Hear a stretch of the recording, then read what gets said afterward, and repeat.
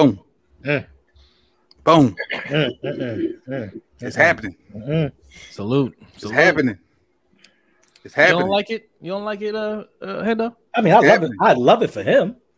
It's happening. So so correct me if I'm correct me if I'm wrong with the numbers. Five years, Mhm. 255, right? Correct. Which if he hits everything he needs to hit, that hits him with 51 a year, which makes him the highest paid per year player in the NFL, correct? This Yes, is correct. yes.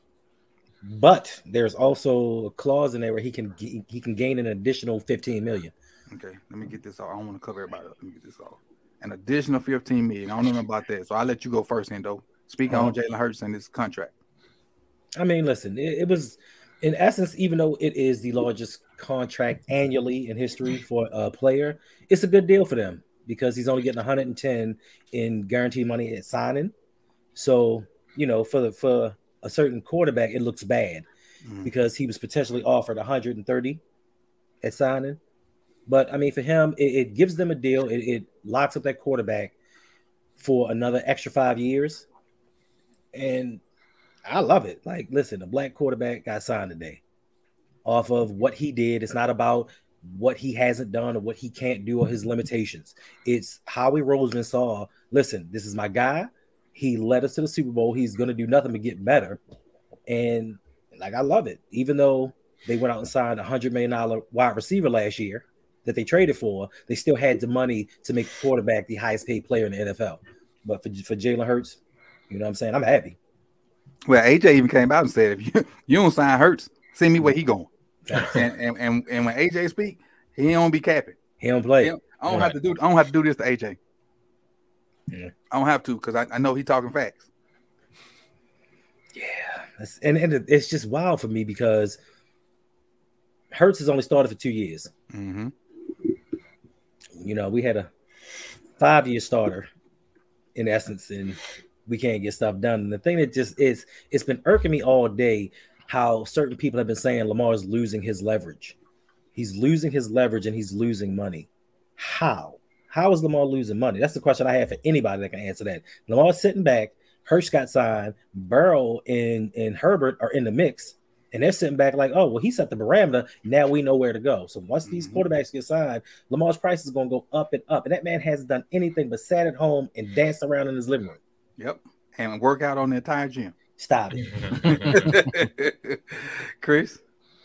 Uh, yeah, I'm happy for him, man, and and his agent too. Um, if you know, because she she's only she hasn't been in the game for a, a while. She hasn't been there, so Right. she's she's only been at it for a few years. And you look at her list of clients, and it's crazy. She got Quinnen Williams on there, and then you just look at this draft. She got Bijan, she got Will Anderson, she got Xavier Hutchinson, she got a bunch of guys coming in, and then you know with Jalen Hurts.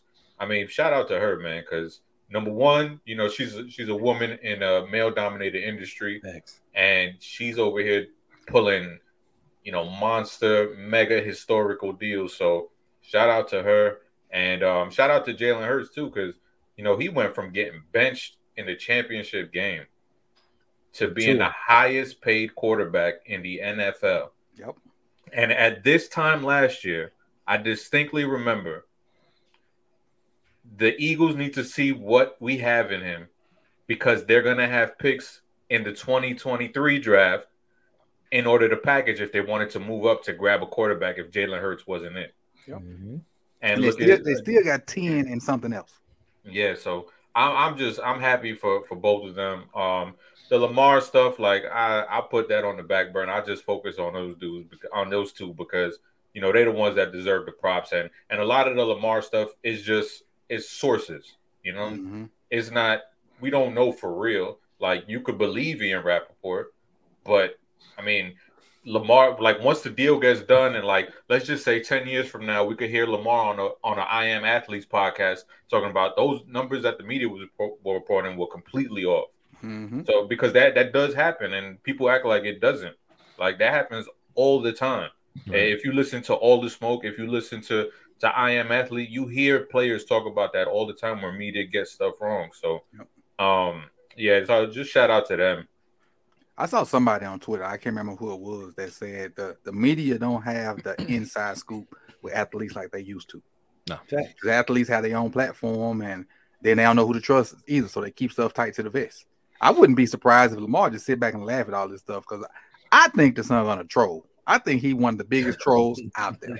I really do. I think he sit back and let's just laugh and laugh and throw stuff out there to see what happens because he knows a lot of mm-hmm. people out there just waning on his every word. So it's it's like it's a picture of a, a, a video of DeAndre Hopkins out Hopkins out there, and somebody screenshotted Thomas. He holding something purple in his hand. He gonna be a Raven, bro. What?